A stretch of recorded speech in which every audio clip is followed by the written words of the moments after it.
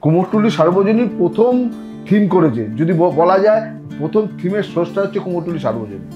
যেবার নেতাজি সুভাষচন্দ্র বোস আমাদের প্রেসিডেন্ট, হঠাৎ অষ্টমীর দিন দুর্গা ঠাকুর আগুনে পুড়ে যায়। তখন একচালা ঠাকুর হতো। মা পুরো সংসার নিয়ে আসতো। তখন জিপাল আমাদের পুজো কমিটির একজন। তখন জিপাল জিপাল এক রাতের মধ্যে ঠাকুর তৈরি করেছিল।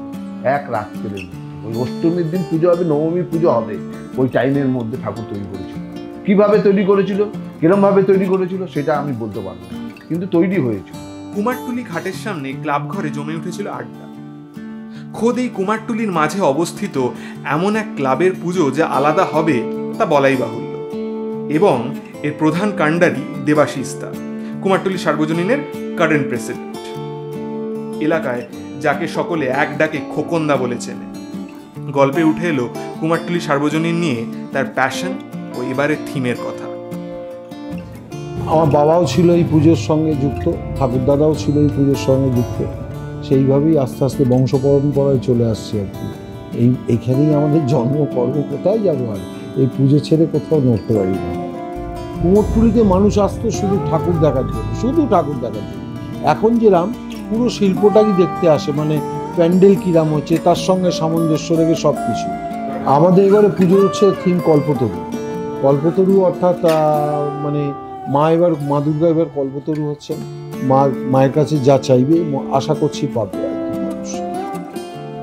খোকনদাই আলাপ করিয়ে দিলেন কুমারটুলি সার্বজনীনের এবারের প্যান্ডেল শিল্পী বাপ্পা হালদার ও মনোজ বারুইয়ের সাথে।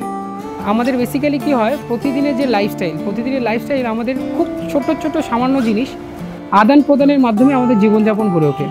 তো সেই আদান প্রদান আমাদের মনের ইচ্ছে পূরণ করে। তো এই ভাবনাটাকে সম্মান জানিয়ে এবার আমাদের থিম হচ্ছে কল্পতরু। মনোজ দা even gave us tour of the pandal প্রথমে বলব যে এখানে একটা গাছ আমাদের আছে প্রথম থেকেই। এখানে একটা গাছ আছে। তো আমরা গাছটাকে এখানে গাছটাকে কোনো রকম ক্ষতি না করে গাছটাকে চেয়েছি। আমাদের মন থেকে গাছের ডালটা হয়তো ধ্বংস হয়ে গেছে নিঃস্ব হয়ে গেছে। কিন্তু আমরা চেয়েছি এই গাছের ডালটা আবার পুনরুজ্জীবিত হোক। এই অপূর্ব ভাবনাকে সাধুবাদ না জানিয়ে উপায় নেই।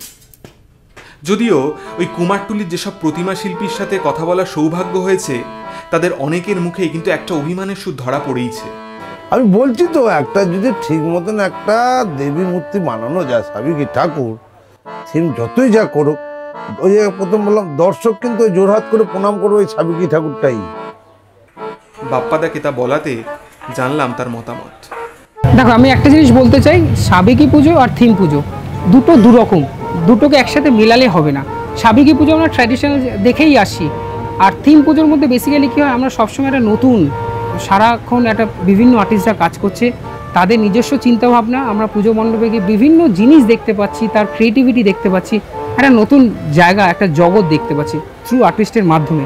তো সেই জায়গায় থিম পুজোর যেমন একটা গুরুত্ব আছে, তার সাথে সাবিকি পুজোর একটা গুরুত্ব আছে। দুটো কিন্তু দুরকম, এটাকে এক করা যাবেই না কখনো। I was torn apart both are right in their own way সাবেকি ডাকের সাজের প্রতিমার মধ্যে যেমন ধরা পড়ে বঙ্গদেশের ঐতিহ্য, ইতিহাস, থিমের ঠাকুরের মধ্যে দিয়ে অনেক শিল্পী আবার ধরতে চান চারপাশের সমাজে নানান সমস্যার কথা। দুজনেই কিন্তু দুজনের জায়গা থেকে আধুনিক। কুমারটুলির গলির একটি চায়ের দোকানে চা খেতে খেতে সব ভাবছি, হঠাৎ আলাপ হলো চায়ের দোকানের মালিক মদন পালের সাথে। কথাবার্তা শুরু হতেই এমন সব ঘটনা জানলাম, যা আমায় একেবারে বাকরুদ্ধ করে দিল।